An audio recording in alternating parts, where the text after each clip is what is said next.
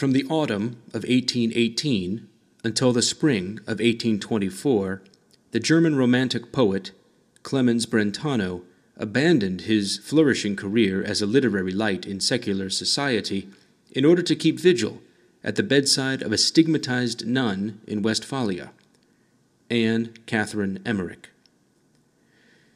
She received the wounds of Christ on her body, but it was her amazing power of clairvoyance which attracted Brentano to her side. For she had the gift of seeing into the past, present, and future to a degree unequaled by any other stigmatist in history. And she claimed that God sent Brentano to her in order to make her visions known to the world. Sixty years later, a French artist, James Joseph Tissot, read Brentano's account of Anne Catherine Emmerich's revelations and experienced a spiritual conversion. He decided to dedicate the rest of his career to illustrating the life of Christ in the Gospels. And by 1897, the resulting The Life of Our Lord Jesus Christ was published. Much of what Tissot portrayed was influenced by Brentano's account of Emmerich's mystical revelations, published in 1833 under the title The Dolorous Passion of Our Lord and Savior Jesus Christ. As the illustrations reflect, Emmerich's visions of the Passion of Christ are highly descriptive, enabling viewers to feel an immediate presence to the sublime event. Tissot's images are inspired by the words of the visionary down to their most gruesome detail. This is especially true concerning the hammering of the first nail.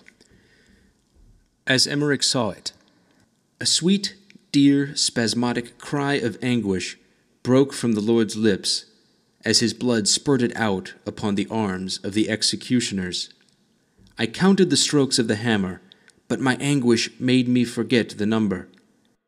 The Blessed Virgin sobbed in a low voice, but Magdalene was perfectly crazed. Both arms had been torn from the sockets. The shoulders were distended and hollow. Jesus' breast heaved, and his legs were drawn up doubled to his body. The abdomen was entirely displaced, and it seemed as if the ribs broke away from the breastbone. The symbolism of salvation history is not lost in Emmerich's visions. With the raising of the cross so dramatically portrayed in Tissot's illustration, the visionary sees the sacrifice on Calvary paralleling the Passover sacrifice going on at the same time inside the temple precincts in Jerusalem. Emmerich continues The position of the sun at the time of Jesus' crucifixion showed it to be about a quarter past twelve, and at the moment the cross was lifted, the trumpet of the temple resounded. The paschal lamb had been slaughtered. Minute by minute, hour by hour, the watch at the Passion proceeds. Angelic seraphim mark the passing of time with a clock. During the mocking of Christ, the crowd is shown surging forward, taunting Christ and those dear to him who are forced out of the way. Emmerich continues Twelve Pharisees, twelve Sadducees, twelve scribes, and some of the ancients likewise rode up the mount. They rode around the circle and drove away the Blessed Virgin, calling her a dissolute woman. They wagged their heads contemptuously, saying, Liar! How do you destroy the temple and build it again in three days? The soldiers, in like manner, mocked and said, If you are the king of the Jews, help yourself now. In Tissot's illustrations, the sky turns dark, but the activity on Calvary becomes highlighted by a mysterious lumination. The prints look cinematic, as if they were storyboards for a movie, and indeed, many a movie maker has referred to them.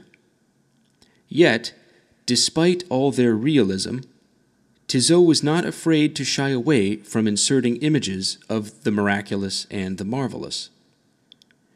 In one print, called It Is Finished, the artist surrounds the crucified Redeemer with the spirits of prophets from the Old Testament. They are suspended in space, and they hold aloft the scripture which is fulfilled here in this sacrifice. All the drama and the pathos of the Passion story spills over the page in a medley of printed word and picture. Passion narratives have a long tradition in Catholic culture, but none of them have had the wrenching drama and artistic staying power as this one, first envisioned by a stigmatic nun, written by a romantic poet, and designed by a society painter turned gospel illustrator. It was Tissot's most ambitious work, and one that crowned his spiritual conversion.